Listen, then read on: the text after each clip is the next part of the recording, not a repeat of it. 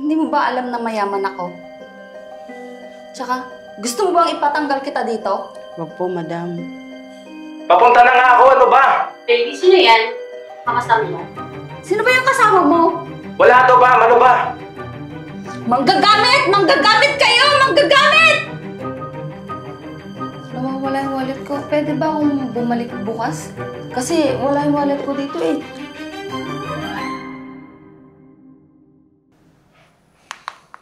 Hello? Oh, hello. Asan ka na ba? Traffic eh. Anong traffic? Anong gagawin ko, traffic? Yan na naman sa reason mo ah. Lagi na lang ganyan. Anong gagawin ko? Bilisan mo! Naghihintay na ako dito. Kanina pa ako dito. E di maghintay ka. O siya, sige. Maghintay ka na lang dyan. Malapit na ako. O sige, maghihintay ako. Sige na. Hello, madam. Good afternoon. Are you ready to order, madam? Tinatawag ba kita? Nakikita mo bang may kasama ko? Kang pabida-bida dyan. Palibasa, waitress ka lang dito. Katanga-tanga. Hindi mo ba alam na mayaman ako? Tsaka, gusto mo bang ipatanggal kita dito? Wag po, madam. Tawagan mo nga yung manager nyo. Napakatanga mo. Sige po. Ay, hello po, madam. Ano pong nangyari dito? Etong tanga-tanga niyong waitress, hindi ko naman siya tinatawag. Ah, ganun po ba? Naku, ma'am, pasensya na. Ayan, humingi ka ng sorry. Bilis-bilisan niyo, umalis Madam, kayo dito. pasensya na po talaga. Hindi na po mauulit. Halika na.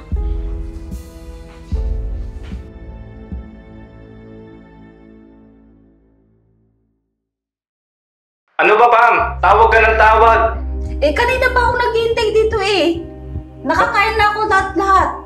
Papunta na nga ako, ano ba? Baby, sino yan? Makasama mo? Sino ba yung kasama mo?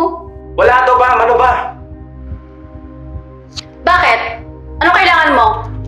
Sino ka? Girlfriend niya. Ano Malamang. girlfriend?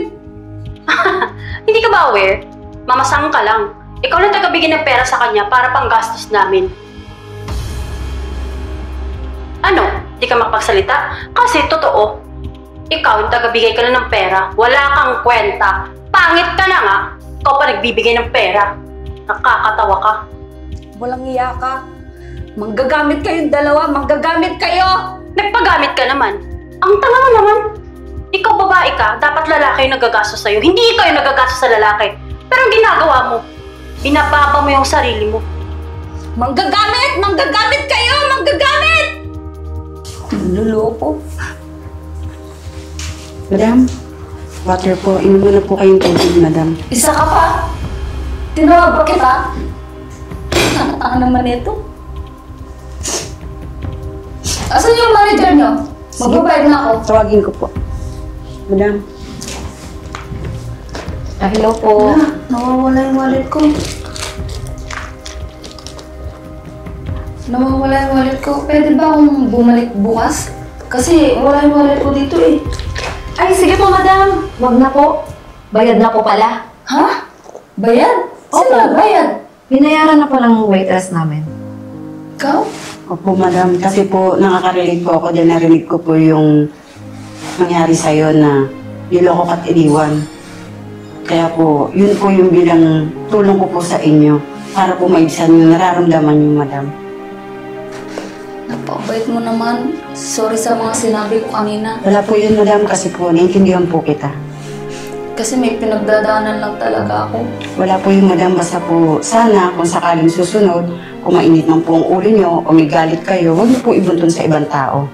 Kasi po, syempre, tao din po kami na may damdamit na sasaktan. Maraming maraming salamat. Wala po yun. Ibibigay ko sa iyo pag babalik ako dito Madam, kahit po hindi na, masaya po ako na maibisan man lang yung nararamdaman ng sakit. Maraming salamat. Wala po yun, madam.